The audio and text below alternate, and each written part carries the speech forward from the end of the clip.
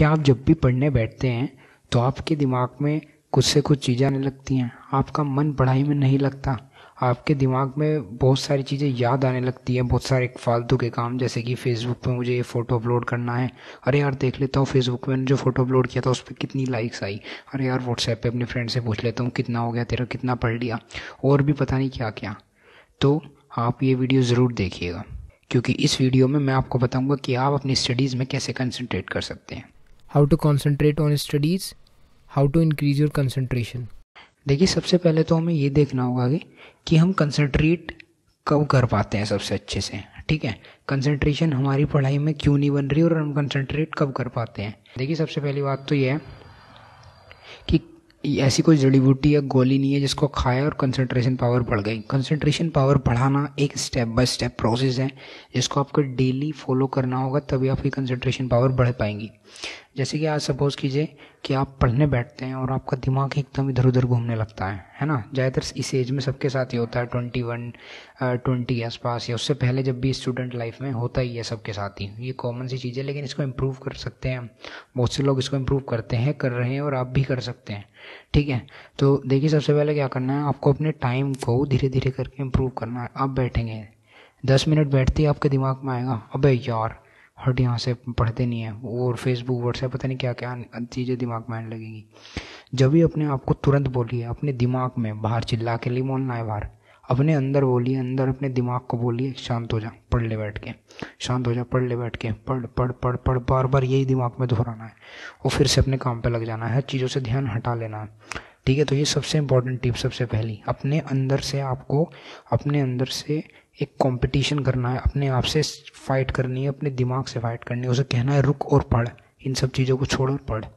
सबसे पहली और सबसे इम्पोर्टेंट चीज़ तो ये है, ठीक है? उसके बाद इसको आपको डेली फॉलो करना है। आप जैसे इसको करना शुरू करेंगे तो आप देखेंगे कि आपका टाइम दस मिनट पंद्रह मिनट बीस मिनट ऐसे करते करते बढ़ने लगेगा, ठीक है? तो आप सबसे पहले तो इस चीज़ को फॉलो करें, ठीक है? तो ये सबसे इम्पोर्टेंट कंसंट्रेशन की टिप है। अब मैं आपको आगे की टिप देता हूँ। अगली जो टिप है वो ये कि आप जो पढ़ते हैं ना, बहुत ज़्यादा देर तक मत पढ़ें। क्योंकि जैसे आप पढ़ने बैठेंगे, जब आप पढ़ने बैठते हैं, जब तो आपका कंसंट्रेशन लेवल हाई होता है। लेकिन टाइम घटने के साथ साथ वो, ओ सॉरी टाइम बढ़ने के साथ साथ वो घटने लगता है। ठीक है तो ऐसे में आप क्या करें? सिंपली मैं आपको बता देता हूँ, आप सिर्फ़ चालीस मिनट पढ़ें। मेरे हिसाब से जो मैंने देखा है, चालीस मिनट जब कोई बंदा पढ़ता है तो बहुत ही दिमाग बेहतरीन तरीके से चलता है, चालीस मिनट तक। उसके बाद टाइम घटने लगता है। ठीक है तो आप क्या करिए, अपने दिमाग से कहिए, मैं चालीस मिनट पढ़ूँगा। और चालीस मिनट जान लगा के पढ़िए। उसके बाद बीस मिनट आप रेस्ट लीजिए। कुछ भी कर सकते हैं बीस मिनट में। और जितनी देर आप चालीस मिनट पढ़ रहे हैं, उसमें अपने मोबाइल वगैरह सब कुछ उठा के रख दीजिए। ना उसमें आपको फेसबुक चलानी, ना व्हाट्सएप चलानी, कुछ नहीं। सब एक तरफ़ रख दीजिए बंद करके। और चालीस मिनट बाद जब आप पूरा पढ़ लें तो अपनी बुक एक तरफ़ रखिए। आप मोबाइल उठाइए, जो मन करे वो कीजिए, बीस मिनट के लिए। उसके बाद फिर चालीस मिनट पढ़िए। ये चालीस, बीस का मैंने पूरा प्रोसीजर आपको अपनी दूसरी वीडियो में समझाया हुआ है, ठीक है? उसको भी आप नीचे डिस्क्रिप्शन में लिंक क्लिक करके देख सकते हैं आप हमारे चैनल पर विज़िट करके भी वो वीडियो देख सकते हैं, ठीक है? जिसमें मैंने आपको स्टडी के बारे में बताया हुआ है, ठीक है? चलिए नेक्स्ट टिप पे बात करते हैं। अब देखिए अगली टिप है कि आप सफिशेंट स्लीप लें, यानी कि नींद आप अपनी अच्छे से पूरी करें। लोग बच्चे होते हैं स्टूडेंट होते हैं, रात को बारह बारह बजे तक पढ़ रहे हैं, है ना? पढ़ भी रहे हैं, पता चला पढ़ कम रहे हैं फेसबुक जाए चला रहे हैं व्हाट्सएप जाए चला रहे हैं, फालतू के कामों में लगे पड़े हैं। तो भैया ये सब काम छोड़ो और अपना पढ़ाई में ध्यान लगाओ। सिंपली दस बजे कोशिश कीजिए कि ज़्यादा से ज़्यादा दस बजे सो जाएँ। दस नहीं तो ग्यारह तो बस मैक्स मैक्स है ही। ग्यारह बजे तक दस ग्यारह बजे तक सो जाएँ और अपना सुबह ही छः सात घंटे की नींद लेकर उठ जाएँ। छः से आठ घंटे की नींद बहुत होती है एक आदमी के लिए। उसके बाद उठें और उठने के बाद अपना पढ़ें, ठीक है? और ये काफ़ी इंपॉर्टेंट टिप है, ठीक है? और एक और बात कहना चाहूँगा कि आपने सुना होगा कि सुबह जल्दी उठ के पढ़ना चाहिए सुबह जल्दी उठ के पढ़ना चाहिए ऐसा सब कहते हैं। लेकिन ये ये कोई आ, सिर्फ़ ऐसे ही कहने की बात नहीं है। एक्चुअली में साइंटिफिकली सुबह के टाइम हमारे दिमाग एक तो हम पूरे दिन जो है जो हम थकान होती है रात को सोने के बाद वो ख़त्म हो चुकी होती है तो हम सुबह उठते ही बहुत फ्रेश फील करते हैं। और दूसरी बात है सुबह के टाइम हमारे दिमाग में केमिकल रिलीज़ होता है जिस जो जिससे कि हमारी कंसनट्रेशन पावर बढ़ जाती है। ठीक है? और सुबह से लेकर शाम होने के साथ साथ वो घटने लगती है। तो अगर हम जो जो चीज़ हम सुबह सुबह पढ़ते हैं, वो हमें काफ़ी अच्छे से याद रहती है और हम उसे कंसनट्रेट करके पढ़ पाते हैं। तो सुबह के टाइम का इसका यूटिलाइज़ कीजिए, अगर हो सके तो जो रटने वाले सब्जेक्ट हैं, जिन्हें आप समझते हो कि रटने हैं, चाहे वो किसी चीज़ के फॉर्मूले हो मैथ वगैरह के जो भी है, उन्हें आप याद करने वाली चीज़ों को सुबह उठ के याद कीजिए। ठीक है? नेक्स्ट टिप है पढ़ने के साथ साथ आउटडोर गेम भी खेलिए। जैसे कि कोई भी गेम हो गया, आप क्रिकेट खेल सकते हैं वॉलीबॉल बैडमिंटन ठीक है?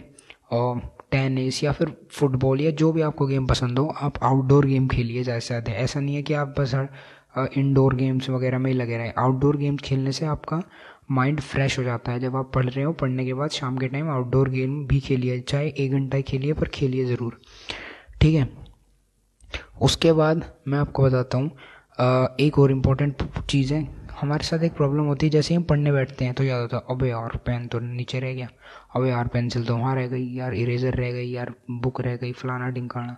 तो सारे सामान एक जगह लेके बैठो भाई, पहले एक जगह लो, क्योंकि जैसे आप बार बार उन्हें लेने जाओगे, आपका कंसंट्रेशन घटती चली जाएगी। एक बार जहाँ बैठ गए, वहाँ पर पढ़ो, लगातार चालीस मिनट तक पढ़ो। जब तक वो पूरा आपका काम ना हो जाए, जो आप लेके बैठे हो, उसको पूरे को पढ़ो। धीरे धीरे करके इन चीज़ों को प्रैक्टिस में लाओ, तभी कुछ होगा। ठीक है। और एक और अगली टिप मैं कहना चाहूँगा आपसे। नेक्स्ट टिप क्या है? आ, कई बार होता है जैसे हम पढ़ने बैठते तो हमारा दिमाग विचारों से भरने लगता है। कुछ से कुछ विचार आते हैं ये है वो है फेसबुक फलांडिंग गाना और हम पागल से हो जाते हैं सिर पकड़ के बैठ जाते हैं। तो ऐसे में क्या करो? सिंपली सांस सांस लो ठीक है? लंबी लंबी सांस लो पाँच छः ठीक है उसके बाद अब देखेंगे आप रिलैक्स फील करेंगे। ठीक है तो एक ये मेथड भी आप कर सकते हैं। ठीक है? उसके बाद दो इंपॉर्टेंट चीज़ें अगर आप कर सकते हो तो थोड़ी बहुत योगा करें, ठीक है? ये भी काफ़ी आपकी जो मेंटल लेवल है, उसको काफ़ी अच्छा करती है स्ट्रेस को रिड्यूस करती है और कंसंट्रेशन पावर बढ़ाती है। और सबसे इम्पोर्टेंट चीज़ है मेडिटेशन और त्राटक। त्राटक क्या है? इसके बारे में आप गूगल पे सर्च कर सकते हैं, कोई यूट्यूब पे वीडियो देख सकते हैं। ठीक है, वैसे मैं आपको सिंपली इसमें बता देता हूँ, त्राटक में क्या होता है? त्राटक में हम अंधेरे कमरे में बैठते हैं और एक दिया जला लेते हैं और उस पर कंसनट्रेट करने की कोशिश करते हैं। ये त्राटक होता है। त्राटक से हमारी कंसनट्रेशन पावर बढ़ती है। तो इसको आप गूगल वगैरह पे सर्च करके देख लें त्राटक प्रॉपर्ली कैसे करते हैं, मैंने आपको बता दिया त्राटक करें आप, और सबसे इंपॉर्टेंट मेडिटेशन ज़रूर करें, सिर्फ़ पाँच मिनट से स्टार्ट करें। आप एक बार खुद फील करना, सुबह से लेकर शाम तक आपका दिमाग भारी हो रहा हो, सिर भारी हो रहा हो, सिर्फ़ पाँच मिनट मेडिटेशन करना। आप देखना कैसे दिमाग एकदम रिलैक्स हो जाएगा। ठीक है मेडिटेशन कैसे करते हैं, उसके ऊपर भी मैं आने वाले टाइम में वीडियो बनाऊँगा।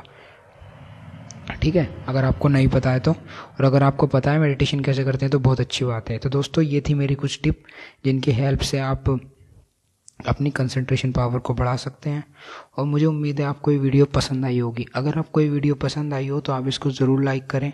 और ऐसी इंपॉर्टेंट अपडेट्स के लिए आप हमारे इस चैनल को सब्सक्राइब कर सकते